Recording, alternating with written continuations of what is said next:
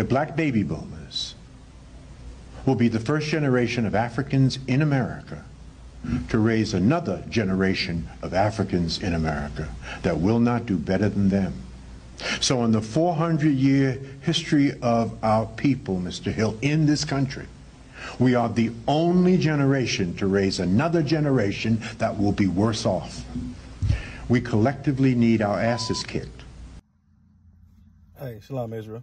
Now, see, I know a lot of people may have seen this video up here, right? And a lot of people, uh, a lot of, especially black people, are thinking to themselves, well, what, what, do, what do you mean we worse off? You understand? Because we got all these nice jobs, we got all these nice houses, nice cars, all these billionaires in the black community. What, what do you mean we worse off?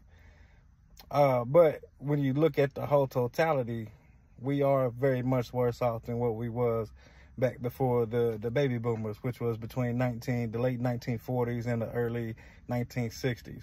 Because before the 1940s, you know what I'm saying, black people own land. They own houses. They they they own they own bus stations. They own taxi cabs. They own they own everything. You understand? And then all that was traded when when uh, these baby boomers wanted to integrate in the in the early 1960s. And that's what killed all the black wealth.